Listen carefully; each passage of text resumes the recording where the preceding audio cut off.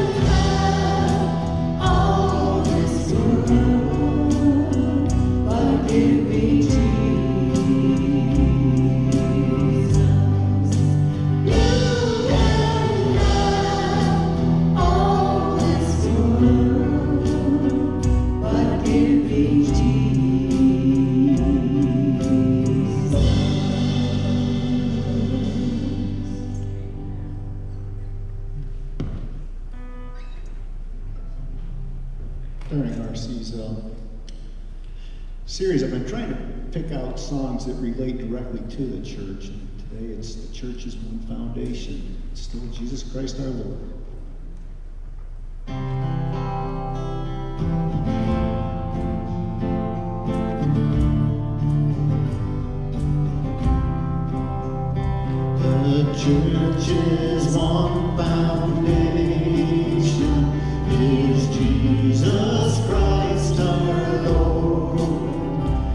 be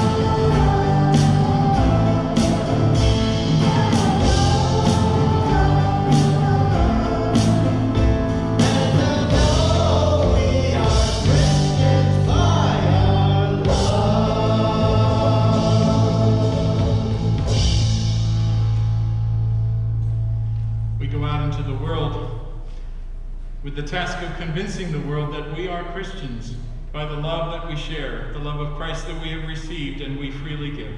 As we go, may the grace of God, Father, Son, and Holy Spirit be with us all, now and forever. Amen.